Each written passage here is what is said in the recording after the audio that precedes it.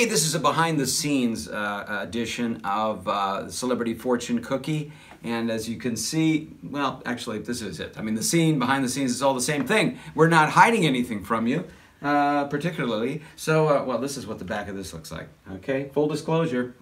Here we go. Let's get a celebrity right now and get a cookie from out the bowl. Andre the Giant. Okay, let's combine Andre the Giant. We've had him so many times. Let's hybridize him. Andre the Giant and George Takei. George Takei the Giant. Here we go. Oh, let's give it a shot. Hmm. Um, oh, um,